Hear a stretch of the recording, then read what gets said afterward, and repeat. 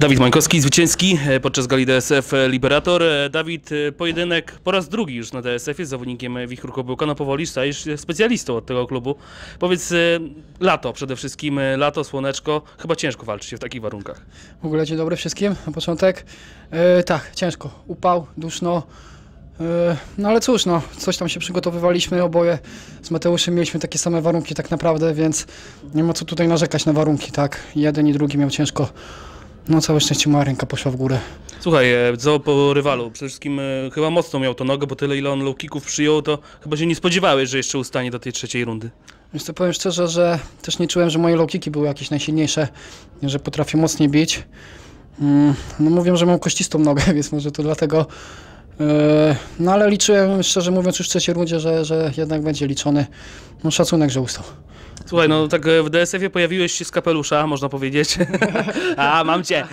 E, właśnie, w- wszedłeś na walkę z Patrykiem Kuryłkiem, teraz e, drugi pojedynek, więc e, no pytanie, czy, czy teraz będziesz celował znowu walkę z Patrykiem, e, czy, czy raczej jeszcze kogoś innego poszukasz przed, e, przed tym rewanżem, bo raczej będzie to rewanż o pas, tak? No bo DSF też szuka jakiejś swojej gwiazdy, swojego mistrza w tej kategorii. Yy, Powiem tak, no kogo włodarze mi dadzą, yy, to ja się będę bił, Mańkowski, Mańkowski nie odmawia. Yy, Mańkowski bierze to, co jest. I, i dla mnie nie ma przeciwników gorszych, lepszych, do każdego podchodzę z takim szanem, samym szacunkiem, czy to był Patryk Kurułek, z którym się znam, bardzo go szanuję, czy to jest Mateusz Chojnacki, czy to będzie ktokolwiek inny, ja się przygotuję, będę gotowy. To wiem, że na pewno, jeżeli dostanę walkę o pas, to super, no, spełnienie marzeń chyba każdego zawodnika, tak, dostać taką szansę. No a Wicher Kobyłka to tak, no, zaprzyjaźniony klub, pozdrawiam Grzesia Engela, yy, całą ekipę Kobyłki znamy się wiele lat, jeździliśmy na amatorkę dużo. No co, super ekipa, fajna ekipa. Super, bijemy się. No. Pytanie, kiedy chcesz e, teraz wrócić, bo będzie duża gala teraz e, e, w Częstochowie, pod, potem będzie mniejsza w Piasecznie 6 października. Celujesz w ogóle w tą galę? Powiem, nie wiem, nie wiem, nie mam żadnych informacji, nie chcę tu się wypowiadać. Powiem tak, teraz na pewno chciałbym sobie poradnić, zrobić przerwę, tak, chwileczkę złapać oddech, poukładać sobie troszeczkę spraw, bo też nie powiem do tej walki, nie przyszedłem psychicznie mocno przygotowany, bo trochę w moim życiu się dzieje teraz, gorszych, lepszych rzeczy. Mm, więc chciałbym sobie złapać oddech.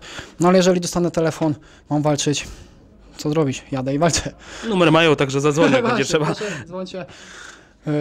Dawid, e, no to w takim razie gratuluję Ci e, zwycięstwa, e, tego wejścia w sezon jesienny. No i czekamy na Twoje kolejne walki. Dawid Mańkowski, Unique Fight Club dla Sporty Walki.org. Dziękuję bardzo. Mógłbym tu jeszcze pozdrowić tylko parę osób, tak, bym chciał pozdrowić moją dziewczynę, moją rodzinę, cały Unique Fight Club, bo są ze mną naprawdę na co dzień, każdego dnia mnie wspierają w gorszych, lepszych chwilach, więc bardzo Wam dziękuję, dziękuję włodarzom DSF-u za szansę.